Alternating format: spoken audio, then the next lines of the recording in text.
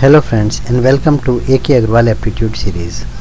Friends in this session we are going to learn a technique for solving a problem of data interpretation using line graph.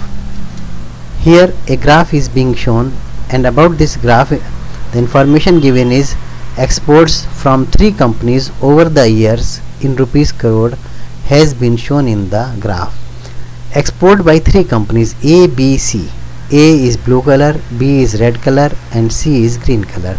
This is the export of the three companies in crores over these 5 years is shown in the graph. Now using this graph you have to answer certain question. First question is in which year average export by these companies was maximum. Every year they are exporting in which year this average export was maximum so to answer this question let us prepare a small table. Total 5 years data is there 2001 2 3 4 and 5 this blue is uh, representing company A. This company A is producing in 2001 40 cars 40 crores. Then export is 30 crores then it is 50 crores. Again it is 30 crores. And here it is 70 crores. Put this information here. Now if you see export of company B company B is represented by red. It is 30 crores. Then it is 70 crores. 70 here. 60 60 is here. 50 crores. 50 crores here. And again it comes down to 30 crores. Similarly for company C year 1 50 crore year 2 it is 40 crore then again it rises to 50 crore then 60 crore and again it comes down to 50 crore. So this is the information given in the graph which we are representing in this tabular format. Now in which year average export by this company was maximum? Now let us see in 2001 what was the average export export by A was 40, B was 30 and C was 50. If you add these three you will get total 120. 120 by 3 because 3 companies are there. So average is 40.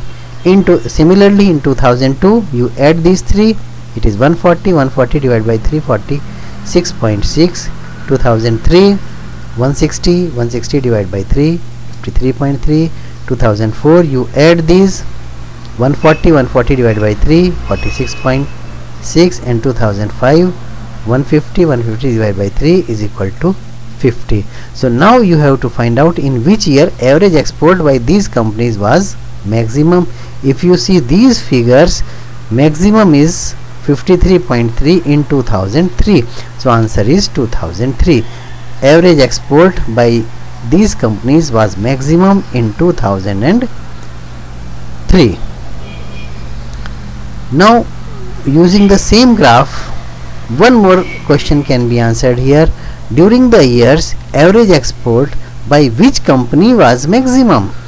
5 years data is there for company A for company B and company C. So which company uh, company's export was maximum during these 5 years? So for that you just add export by company A during these 5 years. It is 220 and total 5 years data is there. So 220 upon 5 is equal to 44 for company B again you add these.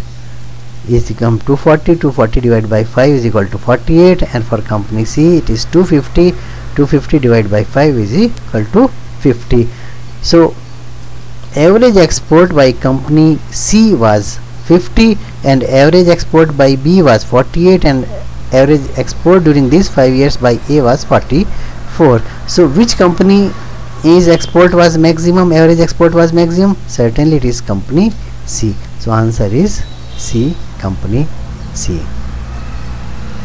Friends thank you very much for watching this video. You can also follow me on Facebook. Thank you